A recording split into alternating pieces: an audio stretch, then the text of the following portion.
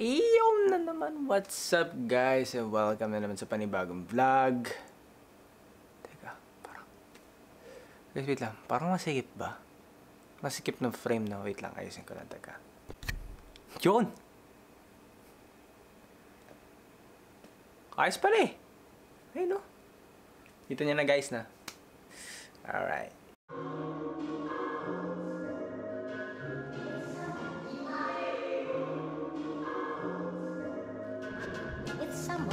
What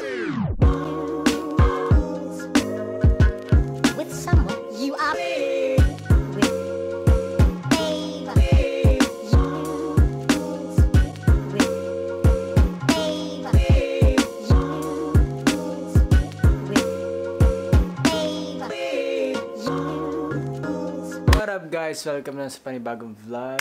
Um, time check. 10.15 na. So guys, kakagising ko lang kasi kakata sa trabaho namin kaninang 6. So yan guys, ang gagawin natin ngayon is papayto ko sa inyo yung desk setup ko. Kung nakikita ang dami nangyayari. Kasi I'm working at home. Hindi ko na masyadong naayos yung desk ko sa araw-araw na pagtatrabaho. Pero aayusin natin and meron tayong idadagdag na medyo upgrade lang naman mga kaibigan na sa tingin ko magiging swabing swabe lalo ang paggamit natin ng PC. Ano ba niya? Let's go! Later. So, yun nga guys. So, I have this thing na parati kong ginagawa. I-rearrange ko yung setup ko. Just because na gusto kong malinis yung desk ko. Pati yung mismong lamesa guys, i-rearrange ko, dililipat ko kung saan saan. Mamaya may makita nyo nandun sa side na yon. Ah, from now on, I'll stick to this setup kasi I'm planning on doing a project here in my workspace. Ganito yung gagawin natin guys. So, tatanggalin ko lahat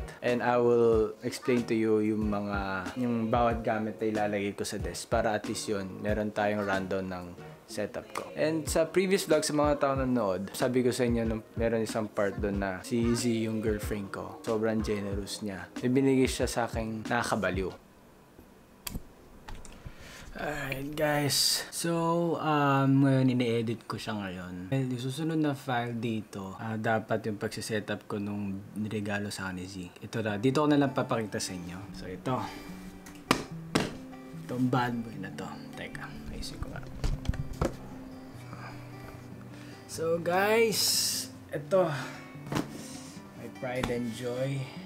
Ito yung regalo sa akin ni Z anong Christmas pa. So ito yung um, Secret Lab Titan gaming chair. Um, hindi biro yung presyo and hanggang ngayon nababaliw pa rin every time na ako dito nababaliw ako dahil I never thought that someone even if girlfriend ko yung taon I never thought someone would actually give me this kind of gift na alam ko dahil before pa ako tumitingin bago pa ako mo ng PC nagka-canvas na ako ng mga presyo ng um, gamit na pang gaming setup. And alam ko isa sa mga mahal na gamit is gaming chair. Ang, ang sarap sa feeling and at the same time masakit kasi nawala yung footage nung, nung pagsa-setup yung pagka-assemble yung pag-assemble namin ng gaming chair yung nung naka-count pa siya, ang masasabi ko lang kay Z-Babe, maraming salamat. Just, not just the gaming chair but for this whole thing, yung pagsuporta mo sa akin.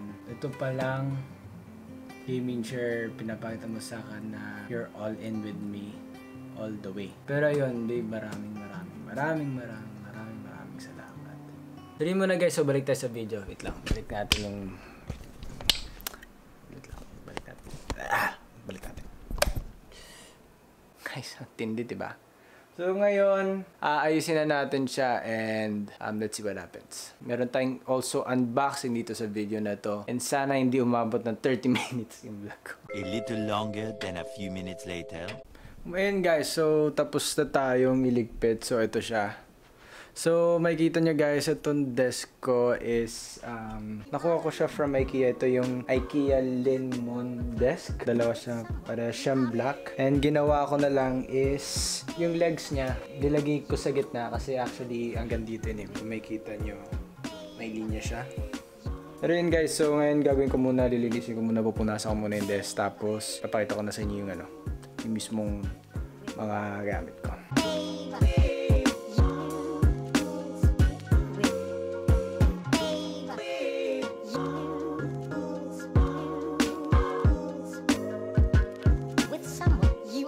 Okay guys, tapos na yon and um, ito lahat ng gamit ko. Ayan, so naglagay na lang ako sa pen pero masarap sa feeling na magkaroon ng maganda setup na marami kang gamit. Pero sakit rin sa ulong magayos. Nakita ko nakita nyo kanina yung monitor ko, ah, parang vertical siya. Ang tawag doon, stack monitor setup. Um, vertical yung tingin mo. And the reason why na ginawa ko yun is parang sumasakit yung leeg ko parang pag, pag ganun ako. Dahil stack monitor ako at least yung mismong mata ko na lang yung gumagalaw. Hindi ko na masyadong kailangan igalaw yung ulo ko. And uh, mas comfortable siya para sa akin. Plus, mas maangas siya. Para may iba naman, yun ang gagawin ko. Later. Welcome back guys. So ayan, malinis na siya. Natuyo na siya. So ngayon umpisahan na natin. Disclaimer guys, hindi po ako tech review. Wala pong ganong alam sa tech.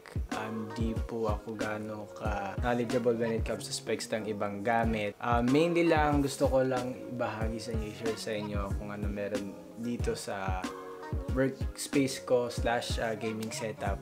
And um, para at least yung mga iba may ideas kung ano yung plano nilang gawin sa setup nila. So una, um, siguro ligay ko na muna yung mismong mousepad. Ito yung mousepad ko. Ito ang Razer. Ito na dito sa phone ko. Ito guys, ang Razer Goliathus Extended Chroma Gaming Mousepad. Gusto ko talaga yung mga ganito mousepad. Para saan mas neat siya tignan and para hindi gumalaw basta-basta yung mousepad nyo sa paglalaro nyo or paggagawa nyo ng kung ano-ano. Ito guys, um, RGB light. Meron siyang uh, umilaw, kumbaga umilaw yung edges niya. So kung gusto niyo yung medyo nagsistand out yung mousepad nyo, merong mga mas mura na brand. Okay, next. Layo ko, tek. Yeah, yan.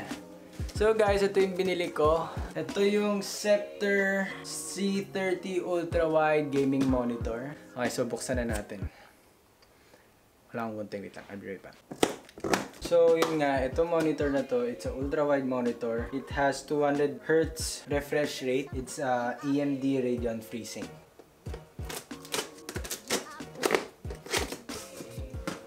I believe, yung una nyo makikita is, I believe yung stand.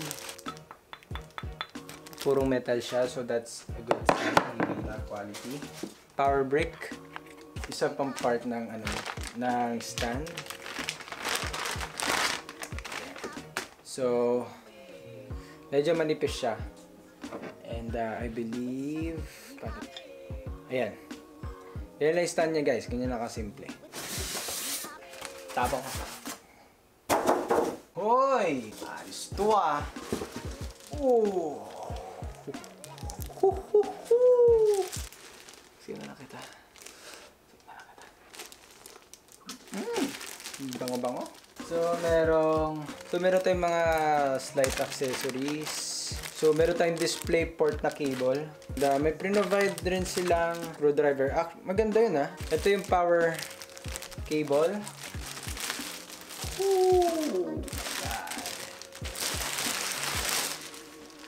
Guys, ang lapad niya.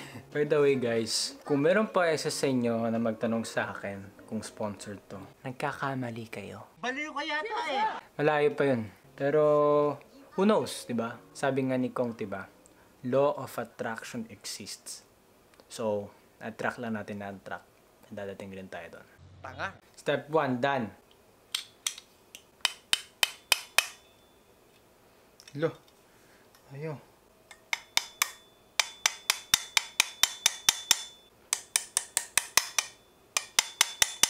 Quality content.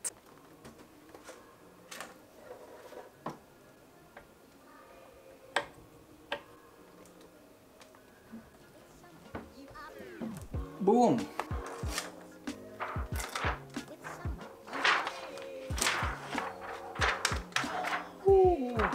Ito yung first part ng ano. So, gagawin ko na lang ngayon. Kakabit ko muna yung pangalawang monitor para at least alam ko kung iataas ko ba o hindi.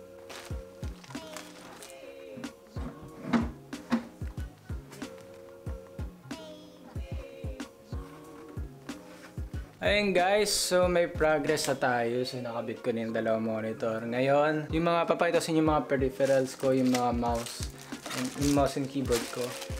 So, yung kinuha kong mouse guys is ito. Ito yung Logitech G305 wireless gaming mouse. So, maganda siya guys. Very sleek, very light, and um, simple lang. And ang gusto ko kasi sa kanya is wireless. Um, responsive siya, especially sa gaming. So, very reliable to yung keyboard ko, so bigyan ko kayo ng brief idea, um, background of keyboards. Merong community ngayon, they're investing on custom gaming keyboards. Baliwala man kayo sa akin o hindi, it can cost you a lot of money if you custom made your keyboard. Merong mga iba na they cost around 500 or 600 dollars. And also to ngayon, especially sa gaming. Ito, by the way, di siya custom. Ito, um, pre-built na siya. Ito yung mga parang generic na gaming keyboards, consider na gaming keyboards. Ito yung um, An Pro 2 65% keyboard. Keyboard. Yung mga alam nyo na keyboards, ganito siya. Ganito siya kalaki. Itong keyboard ko, ayan o, ganyan lang siya kaliit. 65 mainly yung, yung mainly yung mga letters and numbers lang yung kasama. Siyempre kasama na yung mga shift keys and everything. Pero it's very compact, it's very light. And at the same time, maganda yung build niya. Matigas yung base ko. And also this is wireless. Kung interested kayo or na curious kayo sa mga custom mechanical keyboards, mag-search lang kayo sa YouTube. Maraming maraming videos na nag na nag-showcase ng mga custom mechanical keyboards sila. Next, pakita ko na yung main rig. Ay! So ito guys, ito yung PC ko. So by the way, ang case ko pala is uh, Lian Lan Cool 2. Gusto ko kasi meron siyang ilaw dito. Sabi ko naman sa inyo guys, kung hindi ako ganun ka-techy, mainly dahil sa itsura niya. so buksan na natin. Ah, oh, ito, start tayo sa CPU. So ito guys, ito ang Ryzen 5 3600 6-core 12-thread processor. Um, ito, ito yung processor na to mainly for everyday use. Maganda na rin siya kasi capable na siyang gawin yung mga multiple na bagay. If you're doing streaming, if you're doing um, video editing or gaming. And then next yung motherboard. Asus ROG Strix B450F gaming motherboard. Sorry talaga, wala talagang gano'ng idea. Pero sa mga di nakakalam guys, ito pala yung start startup na or entry level na gaming PC. Can cost you a lot of money pero it's a good investment, guys. Kaya ako nag-PC kasi mabilis lang para sa akin na mag-update ng mga bagay na gusto ko. And at the same time na namamonitor ko yung loob kung mainit ba, kung maalikabok na, at least malilinis ko yung loob. Bala ko pa tong pagandahin. Bala ko pa tong palakasin tong PC na to. Ito yung AMD Radeon RX 5500 XT. So sa mga hindi nakakalam guys, ang graphics card, yun yung isang makakatulong sa inyo para gumanda yung quality ng mga laro nyo. Laro na hindi nyo nagagawa dahil very high quality yung game na yon. Makakatulong sa inyo na magbigay, nag-provide ng magandang quality sa game nyo is graphics card. Tapos I have stock fans kasama na siya dun sa case. And then bumili ako ng tatlong fans dito sa harap. So makikita nyo. Hindi ko lang po nakikita. Ayan, nakikita nyo.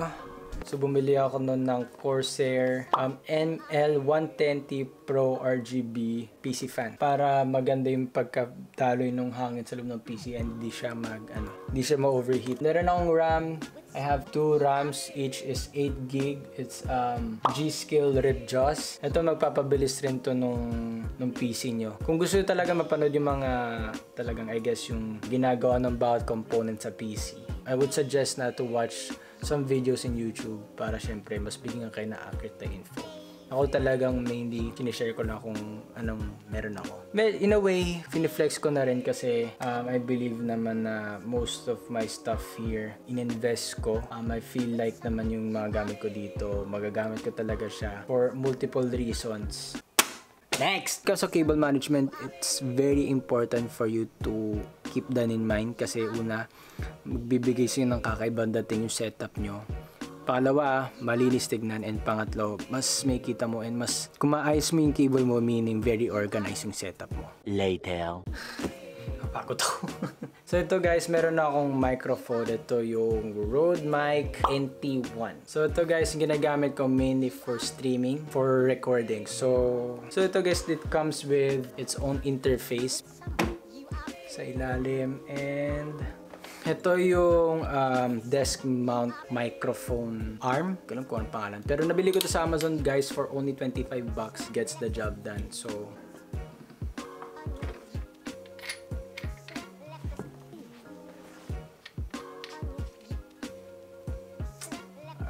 So, sa headset ko, just very simple. Ito yung Runmus na headset. Actually, kay Kuya to. Uh, miniram ko lang kasi wala akong headset. Pero bibili ako soon. Pero baka earphone siya. That's about it when it comes sa equipment. Sa cables, um, di ko na ipapakita siguro kasi baka umabot na naman tayo ng 30 minutes sa vlog natin. Um, papahingayin ko na muna kayo guys. Hindi ko na kayo papadanin sa buong process kasi nakakapagod. And a lot of things going on this world that I can... Do you understand the words that are coming out of my mouth? Balik kayo na mga one second. Ito na. Ah, ayusin ko na. Ito na. Ayan na, malapit na. Guys! Boom!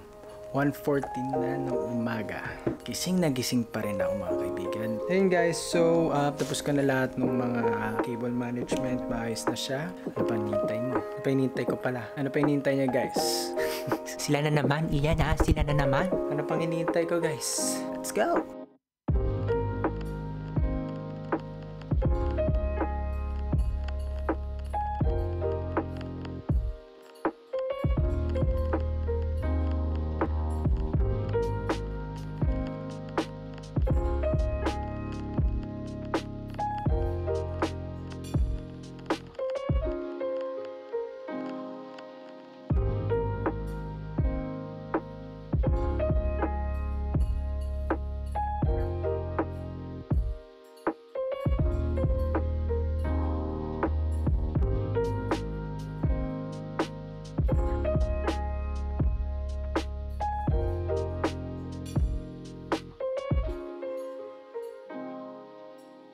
Guys, so yun lang ang ah, yun ang act gaming setup. So ayan, sabihan niyo lang ako guys sa comments down below kung gusto nyong i-update ko kayo from time to time kasi I will sana naman pwede ma-i-upgrade from the aesthetics, mismo PC or kung ano namang pwedeng idagdag. Let me know kung gusto nyong from time to time or gusto nyo by a year ah, gawa ulit akong panibagong video para makita nyo yung, yung pagka-evolve nung aking setup. So yun guys, so yun lang vlog ko today. So talagang team bahay lang talaga tayo kasi comment down below rin kung anong pang mga mga content yung gusto nyong gawin ko or kung kasama ko si Zeke, kung kasama ko yung mga kapatid ko, kung sino man nag-request na magagawa namin, i-mention namin sa video. So um, yun lang guys, so maraming salamat sa panonood. Don't forget to like, comment, and subscribe. Peace. Whoop!